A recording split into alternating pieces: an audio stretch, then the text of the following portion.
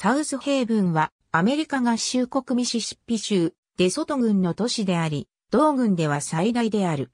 ミシシッピ州の北端に位置し、宗教を超えてテネシー州メンフィスの郊外になっている。2000年国勢調査での人口28,977人から2010年では48,982人と69%増加し、州内第3位である。市内を南北に週間高速道路55号線が貫いている。サウスヘイブンはミシシッピ州とテネシー州の宗教を挟んでメンフィスの未編入郊外地ホワイトヘイブンと境を接しており、そのミシシッピ州側に、メンフィスの家屋建築業者キモンズ・ウィルソンが、初めて購入するタイプの持ち家を中心に、住宅用小区画を開発した時に、その歴史が始まった。ホワイトヘイブンは、その後メンフィス市に吸収された。サウスヘイブンは、アメリカ合衆国南東部で、成長速度の速い方の都市に属する。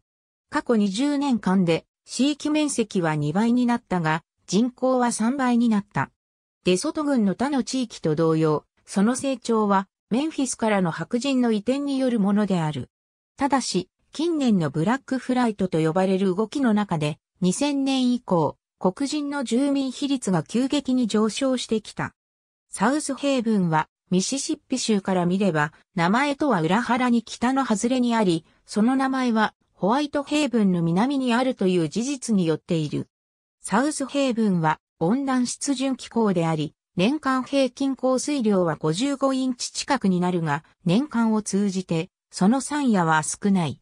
1年のうち、4月が最も降水量が多く、8月が最も少ない。1日の平均気温は1月で下肢40度、7月で下肢82度である。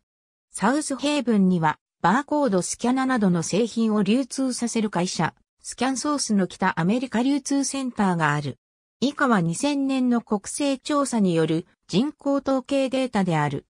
高等教育機関としては、ミシシッピ大学デソト校とノースウェスト、ミシシッピコミュニティカレッジがある。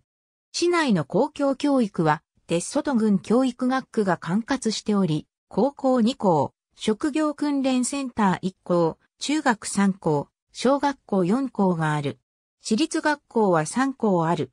サウスヘイブンで発行されている新聞は、デソトタイムズトゥデイである。サウスヘイブンは、セントラルホッケーリーグに属するミシシッピリバーキングスが本拠地にしており、デソト市民センターで試合を行う。ありがとうございます。